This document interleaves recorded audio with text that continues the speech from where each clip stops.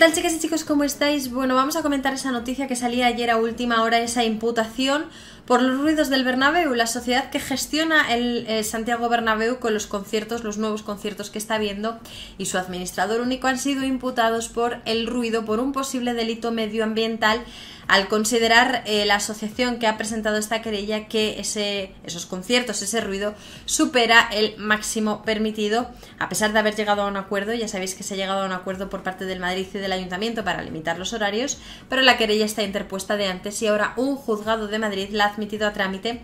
Vamos a comentar esta noticia que, insisto, salía ayer a última hora y también las consecuencias que puede haber a raíz de esta querella. Venga, vamos a comentarlo.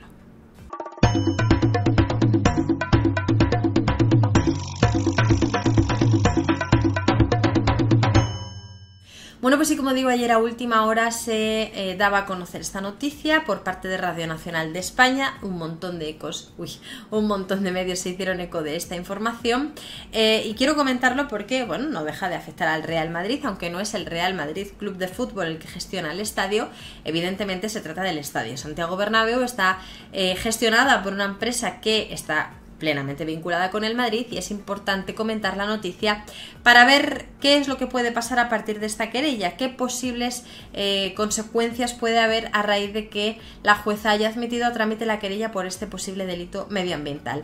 Entre otros muchos medios, Relevo recoge una, un resumen de esta noticia, creo que lo recoge bastante bien, así que va a ser la que vamos a leer, lo recoge con este titular que veis aquí.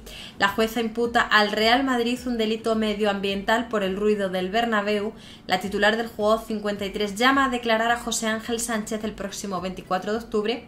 Insisto, no es el Real Madrid el que está imputado, no es el Real Madrid el encargado de gestionar los eventos del Santiago Bernabéu, sino una empresa muy vinculada al Real Madrid, que es Real Madrid Estadio, cuyo administrador único es José Ángel Sánchez, por eso es el que está llamado a declarar en calidad de investigado. Dice la noticia, los conciertos del Santiago Bernabéu están en peligro la titular del juego 53 de Madrid, Mónica Aguirre de la Cuesta, ha admitido a trámite la querella presentada por la Asociación Vecinal Perjudicados por el Bernabéu contra la Sociedad Real Madrid Estadio y su administrador único José Ángel Sánchez Periáñez, según ha informado Radio Nacional de España. Esta es la noticia que salía ayer.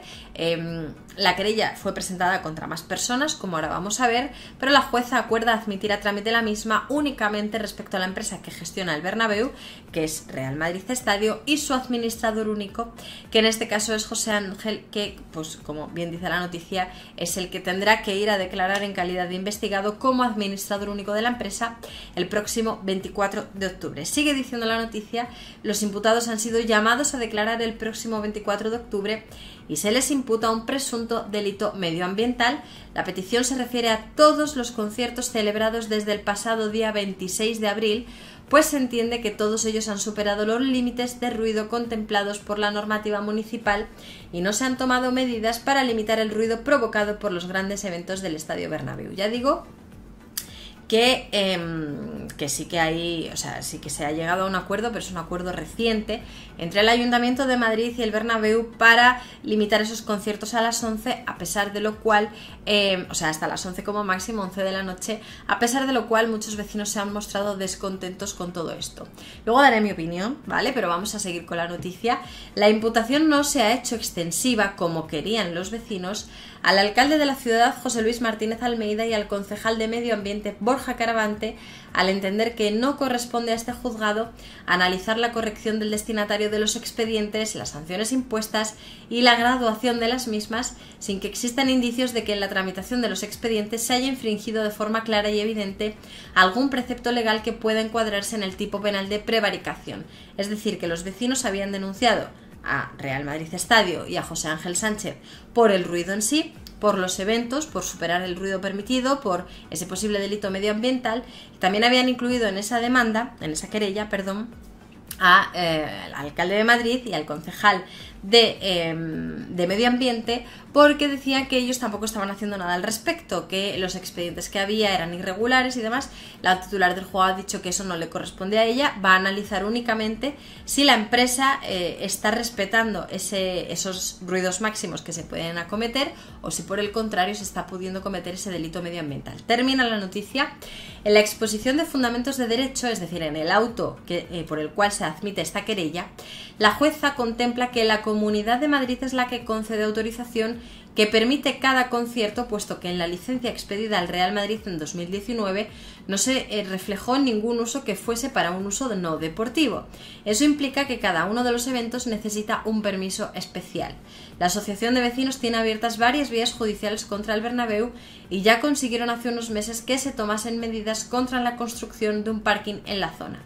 Esta misma semana se dieron a conocer nuevas medidas pactadas entre el ayuntamiento y el club para reducir las molestias, los conciertos tendrán que acabar a las 11 horas de la noche, 23 horas, y el club se hará cargo de la limpieza de los alrededores del estadio.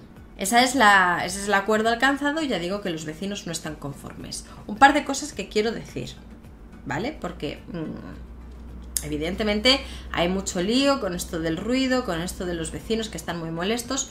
Eh, el Santiago Bernabéu lleva construido ahí mucho antes de que se hiciesen todos estos pisos alrededor. Santiago Bernabéu estaba antes en una zona aislada de la ciudad, del centro de la ciudad, y poco a poco se fueron construyendo los pisos de alrededor, pisos que por su localización están muy revalorizados y que eh, valen mucho más por estar al lado del Santiago Bernabéu que por otra cosa. Yo sé que hay mucha gente aprovechando la coyuntura para sumarse al carro de las quejas eh, y para lanzar piedras contra el Real Madrid, a pesar de saber que sus pisos están más revalorizados por estar al lado del Bernabéu que si estuvieran en las afueras. De esto, esto se sabe, se conoce y demás. Esto no quiere decir, y es la segunda parte, que haya vecinos a los que realmente sí les molesta y sí les está perjudicando el tema de los conciertos. Y aquí es donde sí que, evidentemente, hay que llevar a cabo una inspección, no sé si queréis llamarlo inspección, si queréis llamarlo revisión, ver que se está cumpliendo todo. Es decir, yo el otro día estuve en el concierto de Carol G eh, y es verdad que dentro del concierto se escuchaba mucho, pero yo no sé si se escuchaba mucho fuera. Pregunté cuando salí si se había escuchado mucho eh, y había opiniones de todos los tipos. Había mucha gente que me decía que se escuchaba más a la gente y los gritos de la gente que la música en sí. Otra gente que me decía que se escuchaba más la música que otra cosa. Había mucha gente que decía que no se notaba, o sea, que no molestaba, que no molestaba en sí lo que es molesto el ruido. No lo sé. Pero evidentemente es una cosa que hay que, bueno, ver hay que ver si se está cumpliendo con la normativa o no se está cumpliendo con la normativa. Para esto hay una normativa medioambiental, igual que eh, las hay en urbanismo y las hay en deportes y las hay en todas partes. Las normativas que hay que cumplir y lo tienen que cumplir el Madrid y cualquier otra empresa, club o lo que queráis, o persona, ¿no? O persona física. Em, el delito eh, por el que están denunciando al Real Madrid, Real Madrid Estadio, eh, es el artículo 325 del Código Penal. Es el delito eh, medioambiental por no cumplir con la normativa acústica, por exceder los decibelios y perjudicar el medio ambiente con ese ruido tan elevado. El artículo 325 lo tenéis aquí. Dice, será castigado con las penas de prisión de 6 meses a 2 años multa de 10 a 14 meses e inhabilitación especial para profesión u oficio por tiempo de 1 a 2 años, es decir, son acumulativas, como veis. No es que sea o prisión o multa o inhabilitación, es que serían las tres. Una prisión de 6 meses a 2 años, multa de 10 a 14 meses y también una inhabilitación para el que, contraviniendo las leyes u otras disposiciones de carácter general protectoras del medio ambiente, provoque o realice directa o indirectamente emisiones, vertidos, radiaciones, extracciones o excavaciones, aterramientos, ruidos, vibraciones, que aquí es donde vamos, inyecciones o depósitos en la atmósfera, el suelo, el subsuelo o las aguas terrestres subterráneas o marítimas, incluido el alta mar, con incidencia incluso en los espacios transfronterizos, así como las captaciones de aguas que por sí mismos o conjuntamente con otros cause pueda causar daños sustanciales a la calidad del aire, del suelo o de las aguas a animales o plantas. Si las anteriores conductas por sí mismas o conjuntamente con otras pudieran perjudicar gravemente el equilibrio de los sistemas naturales, se impondrá una pena de prisión de 2 a 5 años multa de 8 a 24 meses e inhabilitación especial por tiempo de 1 a 3 años y si hubiera creado un riesgo grave, eh, de grave perjuicio para la salud de las personas, se impondrá la pena de prisión en su mitad superior pudiéndose llegar incluso a la superior en grado. En su mitad eh, superior significa que esa pena de prisión, por ejemplo, de seis meses a dos años no sería aplicable de seis meses a dos años, sino de eh, un mes y tres, eh, perdón, un año y tres meses a dos años. O sea, se aplicaría de la mitad para arriba o incluso en grado, superior en grado, que es incluso más, de dos a cuatro años. Em, Obviamente esto es para casos muy graves, cuando hablamos de prisión es para casos gravísimos. Eh, insisto que es una cosa bastante fácil de solventar, es una cosa bastante fácil de investigar porque es medir. Es medir los decibelios, medir ese ruido, medir esas vibraciones. Eh, yo había leído antes esto de que los vecinos decían que se estaban cometiendo delitos contra la salud de las personas. A ver, yo no creo que se llegue a tanto, no creo que llegue a tanto. O sea, es un artículo mucho más previsto para atentar gravemente contra la salud de las personas a la hora de contaminar aguas o cosas así. Es verdad que lo del ruido hay que, como digo, ¿no? Medirlo, investigarlo y demás, pero, pero es un un tipo penal que está previsto para casos graves que atenten contra la salud del ecosistema, contra la salud de las personas de forma grave. Y evidentemente estos son conciertos, como hay conciertos en muchos otros estadios, en muchas plazas de toros, en muchos, en fin, que hay que investigarlo, que hay que revisarlo, por supuesto hay que ver si se está cumpliendo.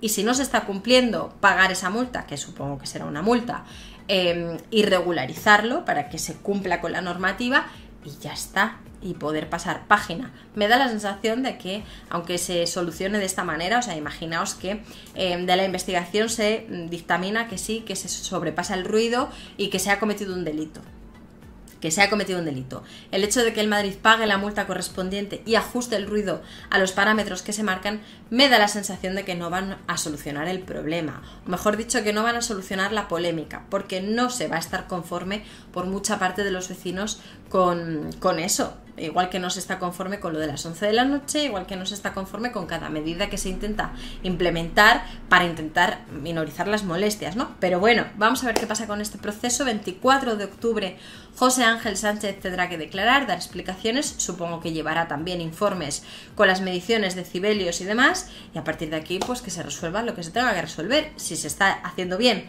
perfecto, ojalá que sí, y si se está haciendo mal, pues que se regularice y se empiece a hacer bien, ¿no? Evidentemente.